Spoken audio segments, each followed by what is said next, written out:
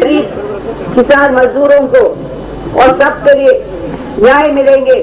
और हम लोग सब, मगर हमारा ये बिल्कुल एक ख्वाब रह गया, क्योंकि सबसे पहले इस देश का पूरा आज़ादी जैसे हम लोग ने सोचा वो नहीं मिला। ये साम्राज्यवाद ब्रिटेन इस देश को बंटवारा करके छोड़ दिया।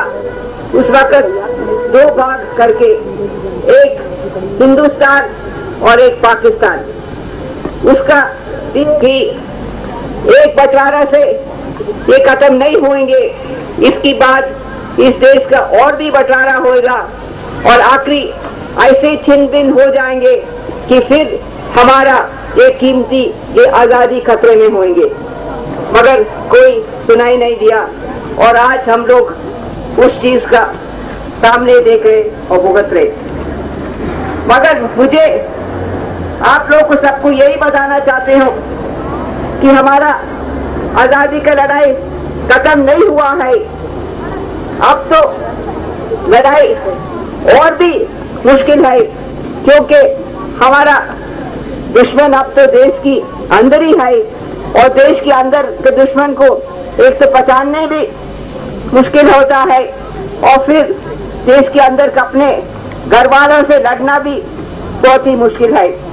मगर आप लोग, खास करके आप लड़कियाँ, लड़के, नौजवान और महिला, आप लोग को सबको ये लड़ाई लड़ना ही चाहिए। नहीं तो हमारा देश का आज़ादी खत्म हो जाएँगे और हमारा देश बिल्कुल पीछे हट जाएँगे और हमारा देश का जनता का बहुत ही बुरा हाल होंगे खास करके आजकल हमारे सामने ये सांप्रदायिकता का जहर जो लोग फैला रहे वो सबसे खतरा और खतरनाक चीज़ है।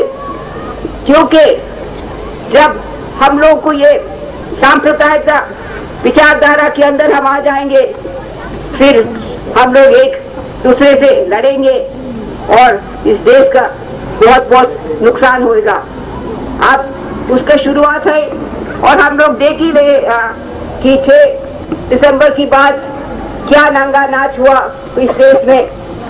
कानपुर बम्बई सूरत वगैरह में क्या हुआ है।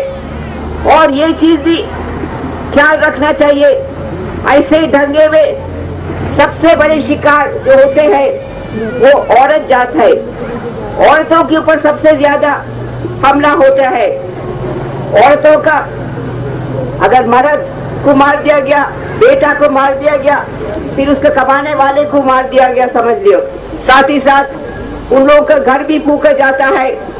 और इससे अलावा वो उनके ऊपर बलात्कार और और भी दमन हो जाता है। इसलिए इस चीज़, इस जहर, इस दुष्ट चीज़ के खिलाफ हम लोग महिलाएँ हम लोग को लड़ना पड़ेगा। और हम लोग को ये सोचना चाहिए, हम लोग सब बहने हैं। सबका सबका रंग में एक ही किस्म का खून चलता है। अगर हमारा का हाथ काटे और हमारा एक मुसलमान बहन का हाथ अगर काटे और दूसरा भी किसी का काटे, सबका खून एक ही है, हो जाता है। ये नहीं है, हमारा पीला रंग का खून आएँगे, उनका नीला रंग का खून आएँगे, किसी का लाल रंग का खून है। खून सब एक ही है। और ये भी पता नहीं चलता है सबको, आप असली क्या है और न्याय है। मैं तो डॉक्टर हूँ। बहुत लोग आते हैं जिसके पास बच्चे नहीं है और कहते हमें कहीं से एक बच्चा दो।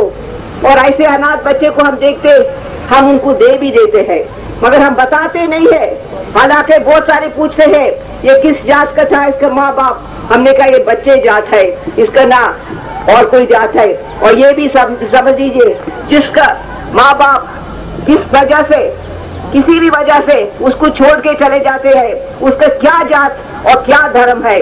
उसका सिर्फ़ इंसानियत का धर्म है। इसीलिए वो लोग बहुत खुशी से लेते हैं और हम देखते भी हैं, अगर हिंदू लोग ले जाता है, फिर उनका पूजा वगैरह होता है, और उसको जब हर हर अवसर पे भी पूजा हो जाता है मुसलमान लोग ले जाते हैं, वो लोग अपने तरफ़ से कर लेते हैं, ईसाई लोग ले जाते हैं, ऐसे कर लेते हैं। हमारा सिख भाई लोग ले जाता है, वो लोग। और वो बच्चे सब अपने ही हो जाता है। जब ऐसे चीज़ मौजूद है हम लोग के सामने, ये जो बवाल आजकल इस देश में है, जो इसको हम लोग भाई भाई से अलग कर रहे जिसको हम लोग आपस में और बीच में ऐसे एक दीवार खड़े कर दे, ये किसने किया है और क्यों किया है, इसके ऊपर हम लोगों को सोचना चाहिए। और इस चीज़ के लिए सबसे ज़्यादा आवश्यक है कि सब लोग लिखा पढ़ी होंगे और अपने पढ़ के समझ सकता है। क्योंकि बहनों, भाइयों, ये शिक्षा एक ऐसी चीज़ है, हम और जानवरों का है, कान है, जबान है दिल है, सब कुछ है।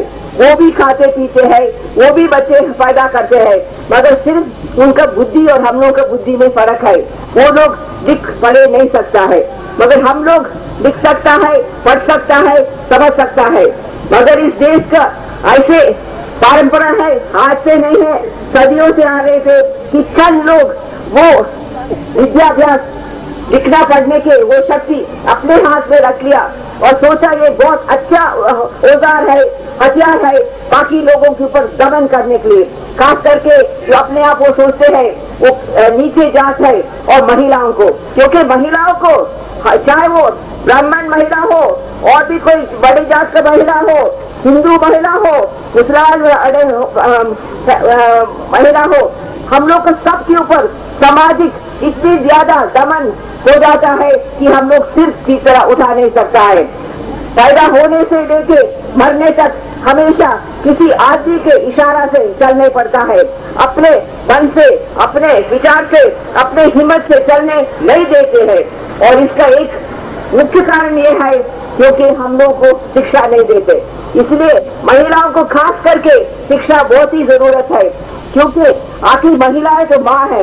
और भले जितनी हज़ार स्कूल आप खोले, जितने बड़े बड़े स्कूल करे English medium Hindi medium Urdu medium पढ़ाना मीडियम दबखाना मीडियम पहले पाँच साल का शिक्षा माँ को देना पड़ेगा बच्चे को, और उसी शिक्षा से उसका सारी उम्र का फ़ायदा होगा या उसका नुकसान होगा। तो भाई माँ बिचारी जब अशिक्षित है तो वो कैसे वो बच्चे को सिखाएँगे? इसलिए आप लोगों को सबको, ये बहुत एक महत्वपूर्ण प्रोग्राम है, और हम लोग शुरू से सब चीज़ जाते पर कोई भी कोई अच्छे काम जो एक सरकार से शुरू करते, वो दूसरा सरकार आके सबसे पहले उसी को खत्म करके कहते, इसके लिए पैसा नहीं है। उन लोग का पैसा छोड़ दो। हम लोग सब उठेंगे। आखिर हम लोग को सबको हाथ पैर है। हम लोग को सबको मेहनत कर सकता है। हम लोग सब पढ़े लिखे हैं, पढ़ा सकता है। इसलिए उन लोगों को वैसे के पैसे कहते हैं, आप लोगों का बगैर उनका मदद दी इस देश का महिलाएँ इस प्रोग्राम को चलाएँगे और हम लोग